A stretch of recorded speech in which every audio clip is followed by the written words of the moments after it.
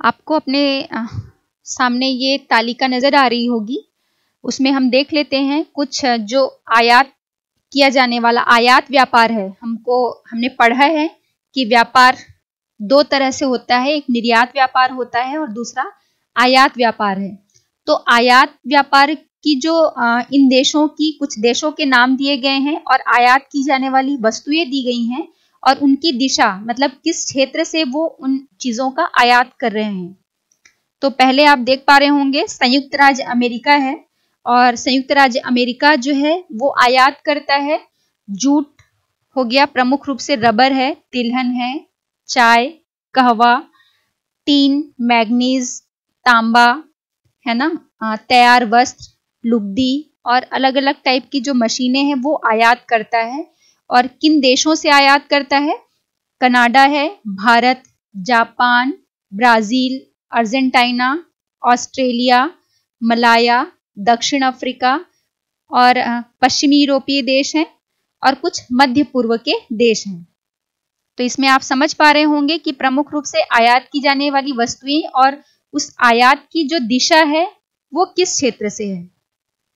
फिर हम देख लेते हैं जर्मनी का। जर्मनी जो है वो प्रमुख रूप से पेट्रोलियम का, खाद्यान्न पदार्थों का, कोयला मक्खन, पनीर, ऊन और जूट का जो है वो आयात करता है। और किस दिशा से या किन क्षेत्रों से आयात करता है तो वो है आपका जापान। फ्रांस है, इटली है, नीदरलैंड यूएसए, संयुक्त राज्य अमेरिका और कनाडा। अब हम बात करेंगे जापान की। तो जापान में आप देख रहे हैं इसके द्वारा प्रमुख रूप से लोहा पेट्रोलियम टीन है शक्कर है रबर है जूट के सामान और अलग अलग प्रकार के जो सभी प्रकार के खनिज हैं उनका आयात करता है जापान। आ, वो है संयुक्त राज्य अमेरिका से आयात करता है भारत के द्वारा आयात किया जाता है भारत देश से ये आयात करता है चीन ब्रिटेन और फ्रांस ये कुछ देश हैं जिनसे ये ये सारे सामान जो है वो जापान आयात करता है। अगर हम फ्रांस की बात करें तो फ्रांस जो है वो प्रमुख रूप से चाय, कहवा चमड़ा, कपास और पेट्रोलियम का जो है वो आयात करता है। और कहाँ से आयात कर रहा है तो आप देख पा रहे होंगे, ब्रिटेन से, संयुक्त राज्य अमेरिका, भारत, ब्राज़ील और इटली से। अब हम कनाडा की बात कर लें तो कनाडा में आप देख रहे होंगे कि चाय, कहवा, रबर कपास, पेट्रोलियम, इस्पात के जो सामान हैं, वायुयान, सूती वस्त्र, ऊनी वस्त्र, ये जो है वो आयात करता है कनाडा और किन देशों से आयात करता है? तो संयुक्त राज्य अमेरिका, ग्रेट ग्रेट ब्रिटेन से, जापान से, ऑस्ट्रेलिया से, फ्रांस, चीन, जर्मनी और न्यूजीलैंड। ये कुछ उसके आयात की दिशा है, जिन क्षेत्रों से वो आयात करता है। ग्रेट ब्रिटेन की स्थिति हम देखें तो खाद्यान्न, चाय, कहवा, तंबाकू, लोहा आदि सामान ये जो है, आयात करता है। और किस क्षेत्र से आयात करता है? तो संयुक्त राज्य America, Canada, Australia, Bharat, Pakistan और पूर्वी यूरोप के देशों से ये इन सामानों को आयात करता है।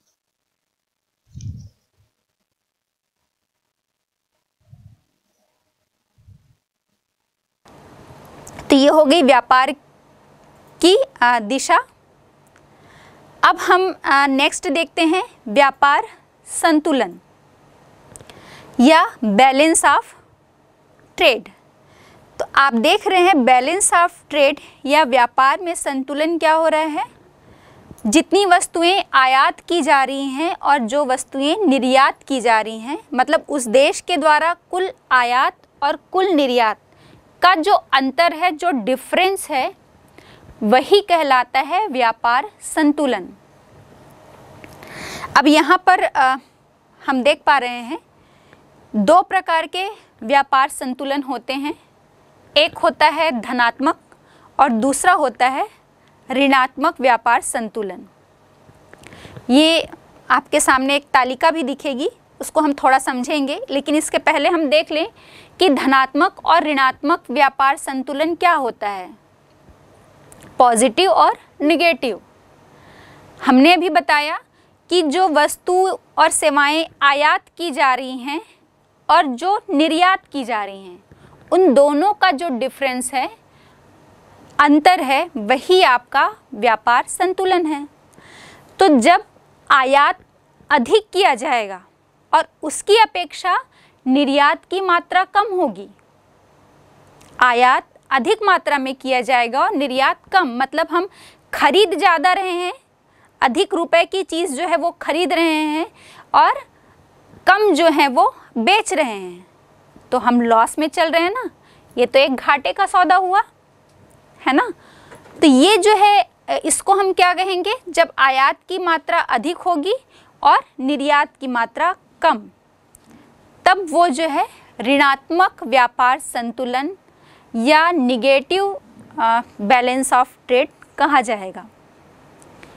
लेकिन जहाँ पर यह स्थिति जब इसके विपरीत होगी कि आयात जो है वो हम कम कर रहे हैं, हमारी आत्मनिर्भरता जो है, देश की आत्मनिर्भरता उस अलग अलग टाइप की वस्तुओं के उत्पादन पर अधिक है, हम प्रोडक्शन अधिक मात्रा में कर रहे हैं, है ना? तो हमको आयात करने की आवश्यकता कम पड़ेगी। और निर्यात जो है वो हम अधिक मात्रा में करते हैं। तो ये जो संतुलन है, ये हमारा पॉजिटिव होगा। मतलब फ़ायदे का सौदा होगा, क्योंकि हम अधिक जो है वो बेच रहे हैं और ख़रीद कम रहे हैं। तो बेचने से क्या होगा, हमारे आय में वृद्धि होगी पैसा हमारा, हमारे पास पैसा आएगा, लेकिन अगर हम किसी चीज़ को ख़रीदेंगे तो हम उसमें हमारा पैसा जो है वो बाहर की ओर जाएगा। तो जब आयात की मात्रा कम होगी और निर्यात की जाने वाली मात्रा अधिक होगी, तब हम इसे धनात्मक व्यापार संतुलन या पॉजिटिव बैलेंस जो है वो कहेंगे।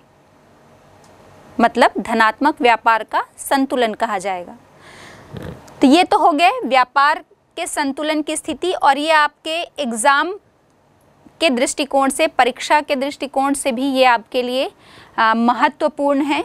क्योंकि अगर आप पिछला जो प्रश्न पत्र है वो उठा कर देखेंगे तो इससे संबंधित आप से प्रश्न भी पूछे गए हैं। अप्लाइड टाइप के क्वेश्चन आते हैं, व्यवहारिक जो है प्रश्न आएँगे। आपको इस कॉन्सेप्ट को समझना है और उस कॉन्सेप्ट को समझने के बाद फिर वो प्रश्न हल करना है। जैसे भी मैं आपको बता दूँ आपके सामने ये एक तालिका नज़र आ रही है। इसमें अलग अलग देशों के जो हैं आयात और निर्यात अरब डॉलर रुपए में दिए हुए हैं। तो अगर आपसे पूछा जाए कि किसी पर्टिकुलर एक देश का आ, पूछ सकता है आपसे कि व्यापार संतुलन की स्थिति क्या है बताइए। तो आपको क्या करना होगा? जितनी आ, आयात की गई मात्रा है उसमें से निर्यात की गई मात्रा को हम क्या कर देंगे? कम कर देंगे या घटा देंगे? तो जो बचेगा, वो हमारा क्या होगा? व्यापार संतुलन। और साथ ही आपको ये भी बताना होगा कि वो व्यापार संतुलन, अगर आप देखेंगे कि आयात की मात्रा अधिक है, निर्यात की मात्रा कम है तो वो ऋणात्मक व्यापार संतुलन होगा। और अगर उसमें आपको नज़र आ रहा है कि निर्यात की मात्रा जो है वो अधिक है और आयात की मात्रा कम है तो वो आपका धनात्मक व्यापार संतुलन जो है वो होगा। तो हमने ये देखा कि जो विश्व स्तर पर व्यापार किया जा रहा है, विश्व व्यापार किया जा रहा है, उसके जो कुछ महत्वपूर्ण पहलू या अंग हैं। अब हम बात करते हैं कुछ अब हम यहाँ पर आपके सामने एक टेबल दिया गया है और इस टेबल के माध्यम से आप समझ सकते हैं कि जो विश्व व्यापार का स्वरूप है वो किस प्रकार बदल रहा है। इसमें हम प्रमुख कुछ औद्योगिक देश की बात कर लेते हैं, जिसमें हम देख रहे हैं, सबसे पहले संयुक्त राज्य अमेरिका आपको दिख रहा होगा। यहाँ पर आपको तीन वर्ष के जो आंकड़े हैं वो नज़र आ रहे हैं। 1980, 1990 और 2000। अब 1980 में देखिए संयुक्त राज्य अमेरिका का जो निर्यात था वो दो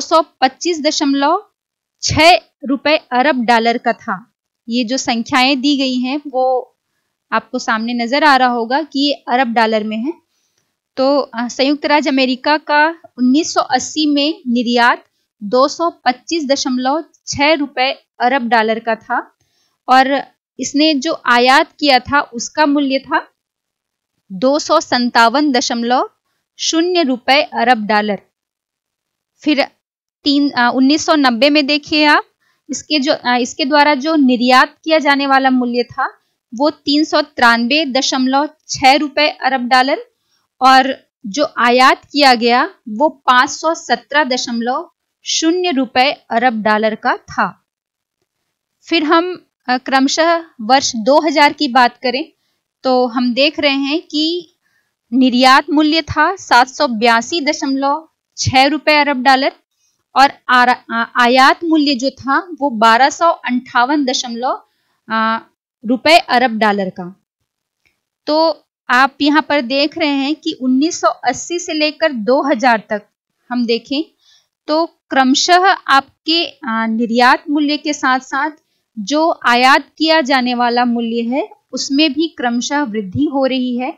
और तीनों ही इसमें हम वर्षों में देखेंगे तो हम देख रहे हैं कि जो निर्यात मूल्य है, वो संयुक्त राज्य अमेरिका का जो निर्यात मूल्य है, वो आयात मूल्य से कम है। मतलब आयात जो है, वो अधिक मूल्य का किया जा रहा है और उसकी अपेक्षा जो वो निर्यात कर रहा है, उसका मूल्य कम है। अब हम यहीं पर आ, कनाडा आपके सामने नज़र आ रहा होगा टेबल में। कनाडा देश का दिया गया है। सौ अस्सी में हम देख रहे हैं सिक्सटी सेवन पॉइंट सिक्स रुपए अरब डॉलर का निर्यात किया है इसने। और इसकी अपेक्षा जो आयात मूल्य है वो कम है। सिक्सटी टू पॉइंट फाइव रुपए अरब डॉलर। मतलब 1980 में कनाडा ने निर्यात जो है वो अधिक मूल्य का किया है और उसकी अपेक्षा जो उसका आयात मूल्य है वो कम है।